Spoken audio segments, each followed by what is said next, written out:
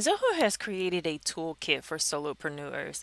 Um, it looks to be only an app that you can download to your phone from the Apple or the Google Store. It does not look like an application that you can pull up on your browser.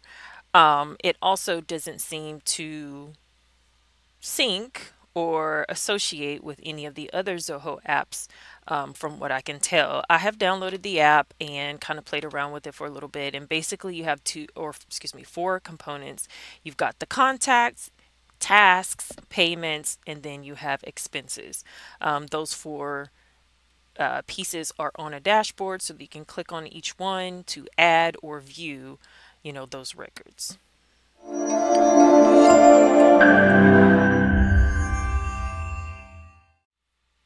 Alright, so here's the app right here, Solo.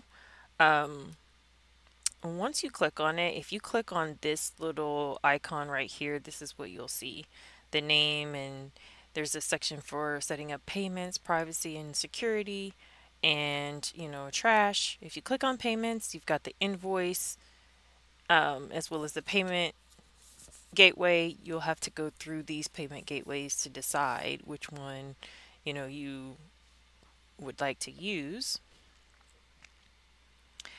And um, here at the bottom, you can see there is a sync. I'm not really sure how that syncs. I know upon logging in, I did realize that you could um, upload or import your contacts from your phone.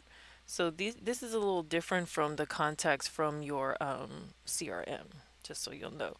Um, you can add a new contact like individual contacts or you can import them from here. All right, so it will, yeah, take you to your phone contacts and let you import them that way. Then the second icon here, that was the first icon. The second one is for tasks. You can create tasks right here within Solo. Again, I don't think this is, you know, associated with anything else in Zoho like the CRM or anything like that. It's just a you know an app that you can put on your phone and track all of these things. And the this last icon is for the money, so the expenses and then the invoices. That's what you would see here in this section.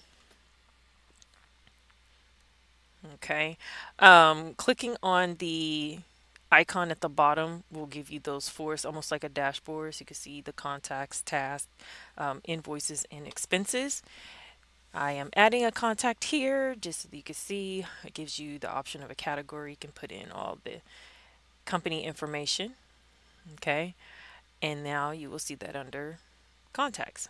You click on tasks, you'll see the task that we just created, uh, income and expenses, Again, you would have to set up your payment gateway, start taking um, payments via your payment gateway, and then you will see, you know, those invoices there. And You can also track expenses. Okay, so that is it in a nutshell. Um, I would much rather use the CRM and have the CRM app on your phone so that you can see the contacts that are in your system. This doesn't seem to sync with the CRM. So again, it's just one of those things where it's kind of handy if you're not having to track anything, um, you know, like accounting and things like that, which most people probably do want to do that. Um, but yeah, that that's pretty much it.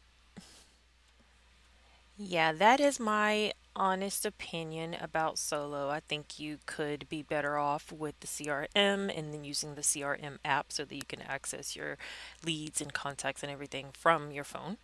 Um, but if you have any questions, if you want me to um, go into a little bit more detail on any of the things I've shown you, just leave it in the comments, let me know, or join the community.